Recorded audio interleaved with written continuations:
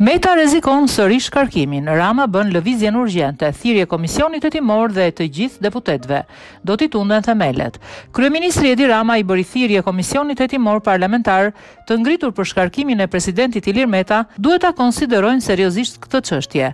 Gjithë kjo krizë, e sajuar artificialisht nga Ilir Meta dhe gjithë frontit kundër reformës në drejtësi, do t'i marrin drejtimin e duhur dhe përgjigjen e duhur deri në fund nga ne, duke tundur themelet e çdo pasurie të krimit dhe, po ashtu, duke tundur themelet nën këmbët e kujdo që brenda sistemit të drejtësisë është bashkuar me krimin. Sa i përket çështjes për të cilën jemi mbledhur, ajo që di është se asnjë kushtetutë në asnjë vend demokratik nuk mund të parashikojë se një vendi mund t'i bjerë taksirati t'i bjerë një president si Ilir Meta. Për këtë arsye, ky Kuvend duhet të marrë masa ligjore për të krijuar të gjithë mekanizmat zhbllokues ndaj çdo akti flagrant dhe brutal të atij që zyrën e presidentit e ka kthyer në një frëngji për të shantazhuar parlamentin, ndërkombëtarët, popullin shqiptar.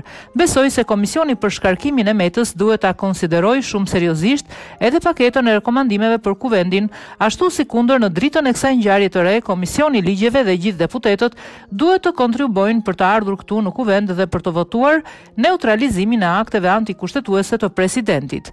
Merreni me mend, kemi bërë një reformë drejtësie për të hequr interesat e politikës dhe pazaret e politikës nga procesi i emërimeve.